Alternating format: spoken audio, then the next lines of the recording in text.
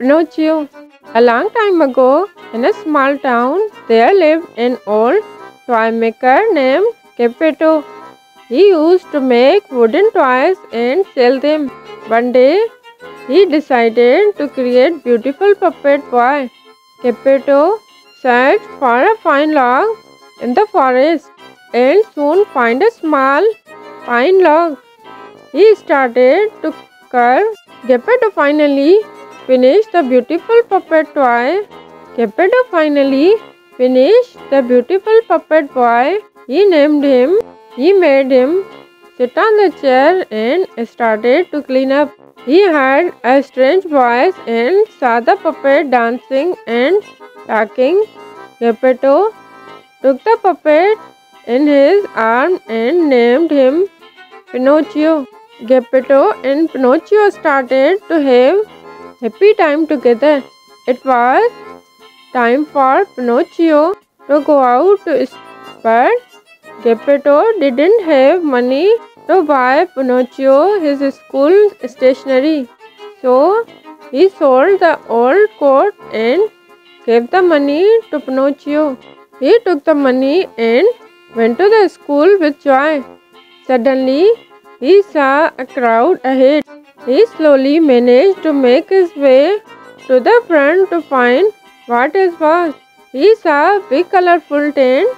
It was a circus tent. Pinocchio gave the money to the clown and entered the circus. The circus owner saw him dancing in the crowd. He got hold of him and locked him in the cage. Pinocchio started to cry, regretting his mistake. Suddenly, a fairy appeared and released him from the cage. She gave back his money and warned him not to do the same mistake again. Pinocchio was on the way to the school again. Seeing Pinocchio with money, the cunning fox and his friend Cat stopped him and asked him where he was going. Pinocchio said he was going to buy school stationery. The fox said, This money is not enough to buy it. Give your money, let's plant it in the magical garden and get more money. Poor Pinocchio gave the money to the fox. The fox and the cat left the place. He was standing alone for a long time. The fairy appeared and asked Pinocchio about the money. Pinocchio said, I kept my money stationary at school. As soon as Pinocchio finished his sentence, his nose started to grow. The fairy asked him, Are you saying the truth? The Pinocchio kept on lying his nose and started growing. Finally, Pinocchio realized his mistake and told what happened.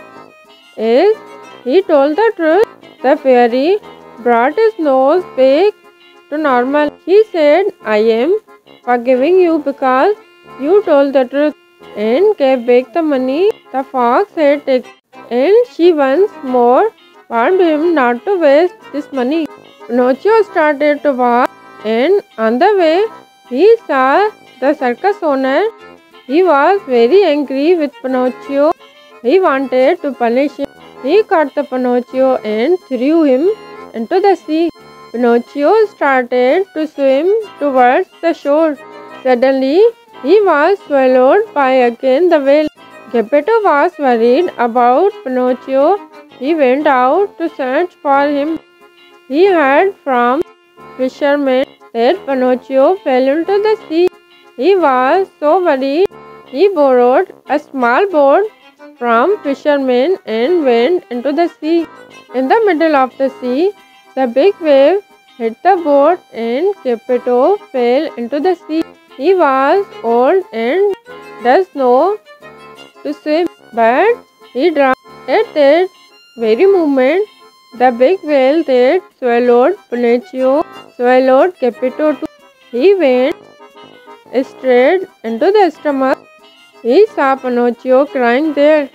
Pinocchio hugged Geppetto in tears. He said, Sorry for not obeying him.